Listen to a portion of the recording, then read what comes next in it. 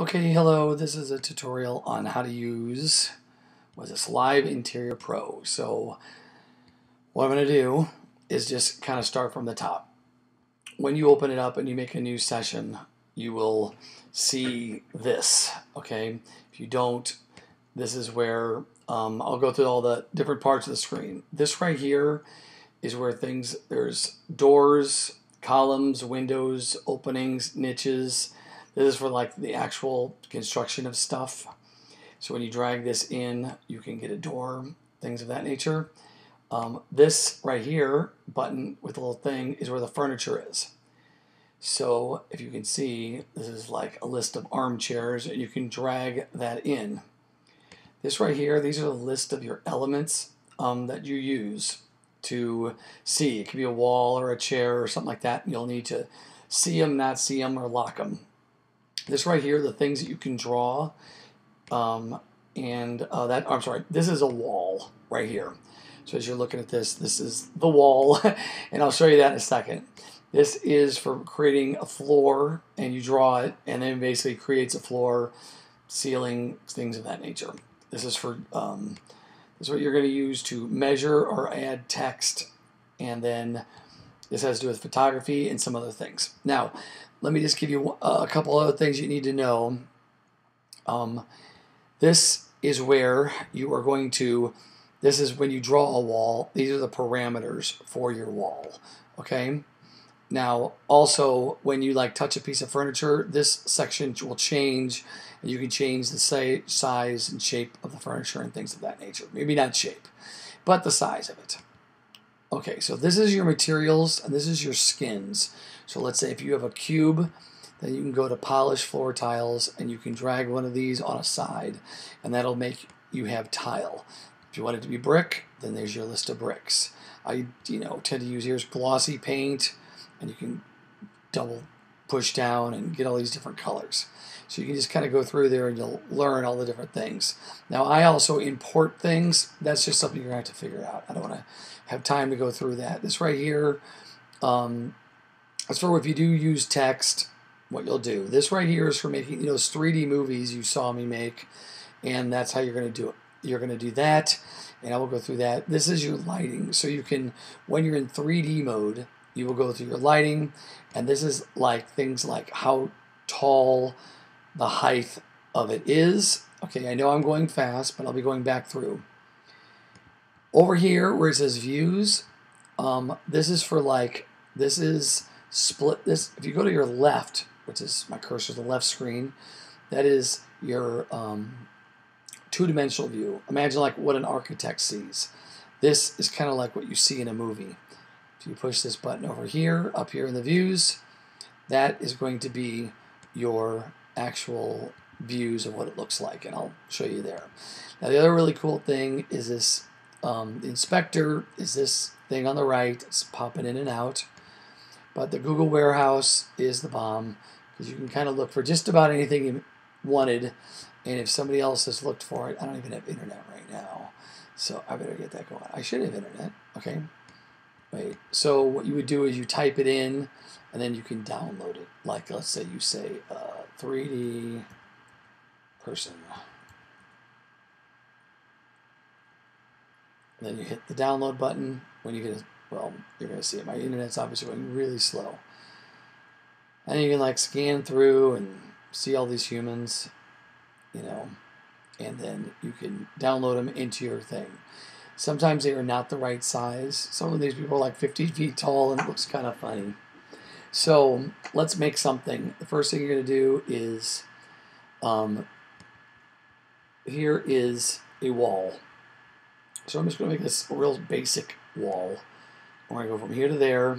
If you look, when I move this, um, right now it says 25 feet, and so that becomes a, a wall. Now I let go of the mouse, and then it stops, but it's still on. So then I push again and hold, and while I'm holding, I go this way.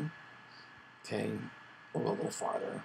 Let go of the mouse, and I push down the mouse and hold again, and we can make this. And let's just make it a funky shape just because it'll be easier to tell what's going on. Alright, alright, double click at the end. If you look over here, I got a little box that kind of shows what this thing is made of. Also, to zoom in, I remember it's um, hit Apple, probably Control on a um, PC, and then the plus sign. Hopefully, I don't know if you have the same functions if you have a PC. Now, if you want to go into this room, this little thing is showing you where you are. But first, let's just throw a couple pieces of random furniture in there, just for perspective. So I'm going to grab this Felba, and I put it right there. Now I can see that it's in the corner. I want to go like that. And I'm going to turn it. Now if you look to the right, I'm on the inspector. I'm on this little thing here. This rotates it. Okay? This thing here is so you can figure out where you want it glued by, like if you want it glued by the floor. Sometimes I make things I want, you know, floating. So let's just take this stupid thing and put it right here, and we will spin it around so they're facing each other. Now, for the heck of it, I'm going to copy this, highlight it. For me, it's Apple C. Put a few of these around. V, V, Apple V, Apple V. Now, we're going to go inside. And this, if you look all the way to the top right, this is the thing that allows you to go inside. So, this is our chairs and things like that. As you scan down, this will show you where these chairs are. And I can do a lot of these things from in here. So let's take this sucker, move it here. Let's turn this sucker around and put it back on this wall. Okay, now let's make it larger than life. So I can enlarge that. If I take the maintain the level, I can make it really skinny, which you'd never do with a couch, but it just gives you an idea, okay, of what's going on. So you can manipulate shapes with this. Now, elevation is how high it is, and sometimes you find the need for taking things and raising them up. Okay, again, this spins it around. When you start playing with this thing, then you'll just start, it'll start coming naturally. Now let's just take this little thing here, let's change the color. Let's change it to violet blue. Okay, let's go to the right and take this chair right here. And so I can take a skin of whatever I want, a fabric, you know, I can take this crazy fabric it could be that. And you could do anything. So in other words, if you want it to be glass, you can make it glass. So, which is weird. So I'm going to hit delete and just delete that thing. But let's do something with the walls. Because walls are obvious, right? So let's just um, get a glossy paint and we'll just pick a random color. How about this? Red violet. There we go. Okay. Let's make the other one brick. How about wood? Make the floor wood. Okay with this dark nut wood. And then let's go over here and find the bricks. And let's find a, a red brick. And we'll just put that. Oops, the ceiling is brick. That would be weird. All right, so here we go. There's a brick. All right. Um, let's make this one stone. All right, and there you go. Now, can come in and let's put a, let me think. Lamps. Lamps actually light up, and I'll show you how that works. So let's just take these and put it on the ceiling. Okay, now I'm going to highlight this and just hit copy. We're just going to randomly place these things around, okay? See, I'm just hitting Apple V, stuff like that, okay? Now, up here the far left, this turns the lights off. If you wanted to see what this looked like with the lights on, what you can do is come over here, this little inspector. Hopefully you can see this. And then you can go to nighttime. Come back over here where it says 3D quality and hit the middle one. And then there you go. So you can get to the point where you render things. You put things in, like I'll put a lamp in and sometimes it just, you can see it like shine on the wall. So it's making a little light on the wall. Put a lamp in here. Okay, it's making a lamp too. Right here, this is a um, this is a track light. So you highlight that and spin it. Make it so it actually shoots on the wall. It's kind of hard. So there's kind of a spot. It's not great. The lights can act weird. The lights can actually go through things and act weird. But to make it simpler, I'm going to turn the lights off, turn the sun off, go back to 3D mode. Because when it's in the other mode, you get a lot of things that can really stock up. Um, let's say you want to paint this molding, and let's make it black. Let's use this black brown like that. That's how you do it. Just drop it right on there. Now, other things that have to do with construction. That would be up in here.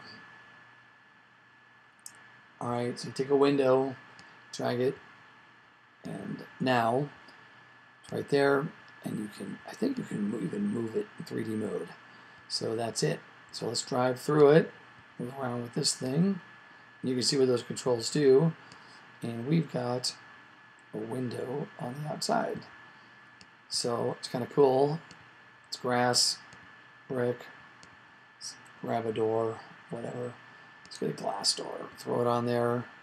Now, we're going to to nighttime by this little nighttime thing. Like this, we turn the lights on. Look, it's bright on the inside. I always think that's cool. So, go like that. Now, let's look at how high this thing is. So, it says it's 12 feet high. A lot of places are not that high, so maybe your house is 9 feet. So now we'll make it 9 feet. This window's got to come down. Okay, let's go ahead and throw another type of, those are all doors. That's, I'm sorry, that's a sliding glass door. So let's get rid of that. Let's go back to windows. All right, let's put a window here. And let's put another kind of window here. Kind of move these around. Now you can see we go to 2D mode. All right, so when we go to 2D mode, that's going to be in this little thing over here. All right, and this is where they're at. So you can also mess with these things here and try to get them centered in another way. If that makes sense. Another thing that um, comes in handy is walls and floors. So let's take this over here. Let's put this chair over here. And let's make a floor. So what we're to do is let's say you have a raised floor area. For me, it's always a stage. So let's put a stage right here. So drag from here to there, here to there, here to here, and double click. Okay, there's my stage. Now we got to go to the inspector, and I want this thing to be three feet up. And there I go. It's three feet up. Let's go to 3D mode, and let's go inside. You can kind of see it from the outside. Ding. Okay, so there it is. Now, I want my house, because now it's a theater, be 14 feet high. Alright, so now it is. And I want to paint these walls black, because that's what theaters would be. Dink, dink, shink. So would actually the ceiling. So now we got a nice theater. Front would be black also. The stage would be wood. I come over here. Let's just put this Bulgarian nut wood on it. Okay, here we go. Now, let's go find some people. Let's take somebody. 3D, let's change this to human. H-U-M-A-N. Search. Man, it's taking a long time. My internet is slow, slow, slow.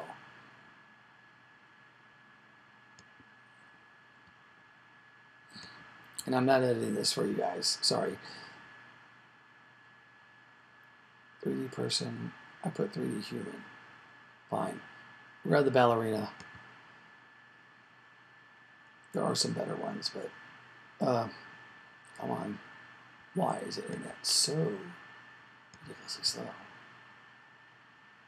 Hmm, do not know. Okay.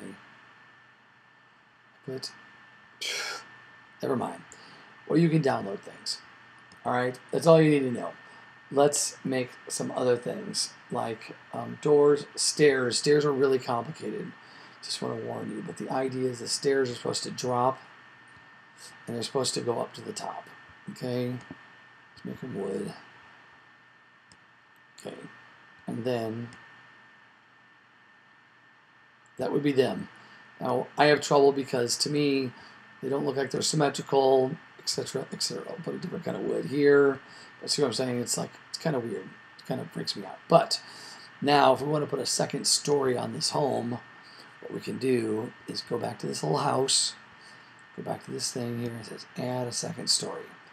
Now we have a second story. And I can either edit this or I can edit that. If I want to edit the second story, come over here and the stairs are right here as you can see. draw new walls. What we do is pretend like this doesn't go as far back. Like this story isn't as big or something like that. Darn it. Remake a new wall, push hold, this, like this, like a little less, okay? Double click, makes a wall. Let's go in. Let's run the second story. And this is our upstairs now. Okay. And that's it. I'm going to push this button and we're going to go down the level. Is that cool? Love this. Also, I can tilt. Okay, let's go up again.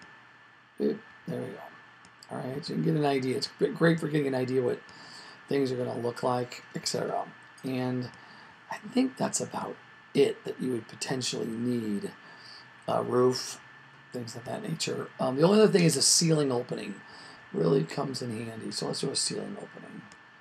So you go back to 2D mode to do this, and you're gonna we're gonna put a this here, push and hold, uh, ceiling opening. Let's make sure we're on the first floor we're drawing on the floor. Let's just make a giant like ceiling opening. Let's we'll make it odd shaped. All right, let's go in and see what she looks like. All right, now we got an opening to the ceiling. So look at it. Yeah, look at that. Okay, that is huge. And that's how that is done. If you want to see it from the top, come up, look over, you can see the downstairs. A lot of elements that you may want you know, dropping, just dropping random things. They're all over here. There's just lots of lots of stuff here. If you want to make a kitchen, they got this all this kitchen stuff. So, um, here, let's put a kitchen over here. I think it's a bathroom bath, actually. Um, but let's say I want to put some things in the walls. Oops, that's in the ground. Get rid of that. Here we go. Let's put that there. This shelf here. Anyway, you can just kind of look and move things around, and that's flying. It's actually flying. Oops. Anyway, that's about it. That'll, that should get you started. Okay. Best thing to do is once you get a basic shape, then you can decorate by just experiment with things, and it's, it's crazy how things can look so different depending on what you do watching the cost. So if I decided ceiling tiles, that's what it would look. A polished floor tile, wall tiles are really expensive. So you can kind of see like, oh, I spent a lot of money and put floor tiles, what would that look like? And it's really crazy how colors instantaneously affect the vibe and the feel of a room. That's what I think. And you guys stumble on this video and you don't like it, I don't care. You can eat it. It was for free. I made this for a friend. Okay. I will talk to you later. I'm done.